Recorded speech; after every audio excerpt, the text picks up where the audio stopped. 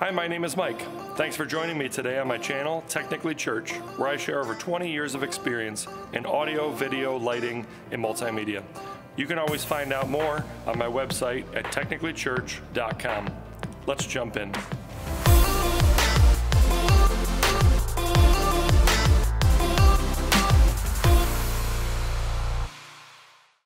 So I just wanted to do a quick product review for you on the Belkin USB-C to gigabit Ethernet adapter.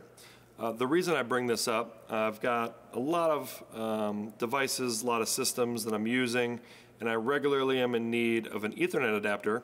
Uh, we use all Apple products, so I have MacBook Pros, Mac Minis, um, and we use Dante. So this is specifically uh, some problems that I've noticed with the Dante network and Ethernet. Obviously, this could apply in a lot of different areas, but here's what I've found. I found that the USB-C to gigabit Ethernet adapter from Belkin, um, which is endorsed by Apple, does work the best. Uh, I've had flawless use of this since I've switched to it, and I had all kinds of trouble prior to this. So I've tried all sorts of third-party adapters, and all they do is give me problems. Now, the main reason for this, I do recommend when dealing with Apple products that you use Apple accessories. They usually work flawlessly.